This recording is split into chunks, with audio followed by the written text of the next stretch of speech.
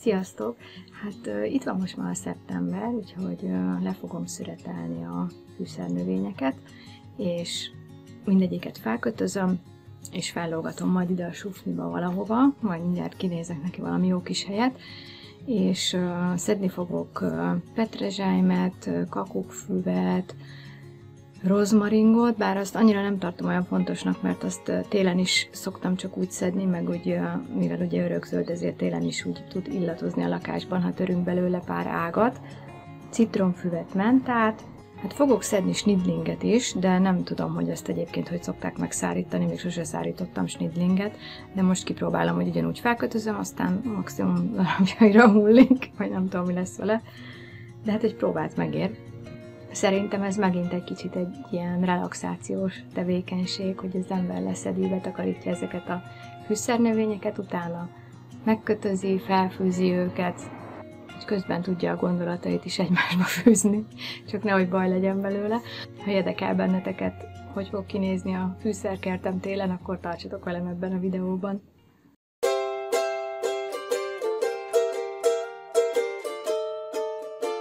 Ha van valami tippetek arra, hogy a snidlinget hogyan szokták megszárítani, vagy ti szoktatok szárítani, akkor légy írjátok meg, mert én még sose csináltam, és nem tudom, hogy mi fog kisülni belőle, de hát majd kiderül. Illetve a snidlingtől függetlenül, hogyha van valami fűszernövény szárítási praktikátok, azt is osszátok meg velem, légy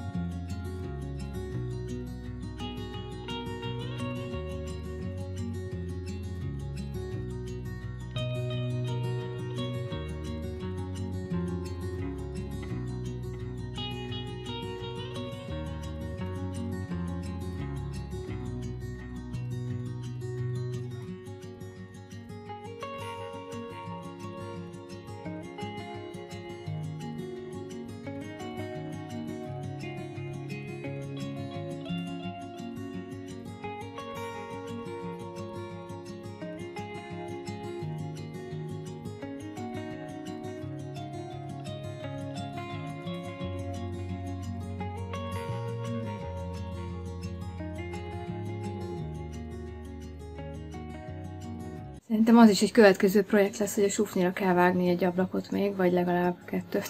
hogy hát észrevettem, hogy én itt olyan sokszor videózok, és tök sötét van. Most is éppen, hogy az ajtón besüt a nap. Nem tudom, hogy mit fogtok látni belőle, ezért is vittem be a kész a fűszeres kertet, mert én így fogom hívni. Téli fűszeres kert. Azért vittem be a szobába, hogy ott világosabban, és akkor jobban látszik, hogy mit is alkottam. Szóval most ö, oda fel akarom kötözni, és akkor utána meglátjuk majd, hogy milyen lesz. Egyébként hol szokás ezt szárítani, mert ö, én ö, most arra gondoltam, hogy itt a sufniba fogom megszárítani, mert itt jár a levegő. Legszívesebben betenném a szobába vagy a nappaliba, mert szerintem egy annyira jó dekoráció is. De Gábor nem örült az ötletnek, úgyhogy marad a sufniban. Pincénk nincsen, a garázs, hát a garázsban lehet, hogy majd, mert ugye össze oda is szeretnénk radiátorokat rakni, úgyhogy elképzelhető, hogy akkor majd oda át fogom rakni. De ha van tippetek erre is, akkor írjátok meg nyugodtan.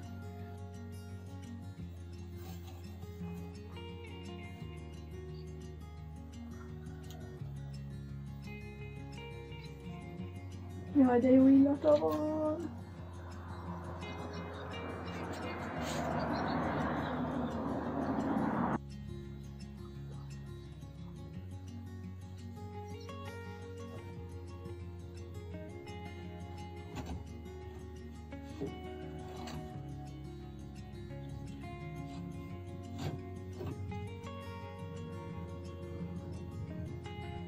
Ez itt az én téli fűszerkertem.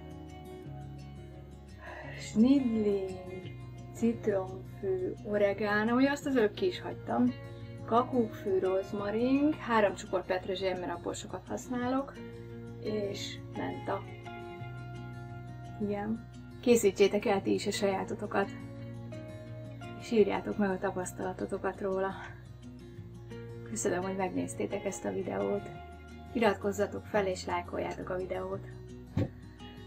Sziasztok!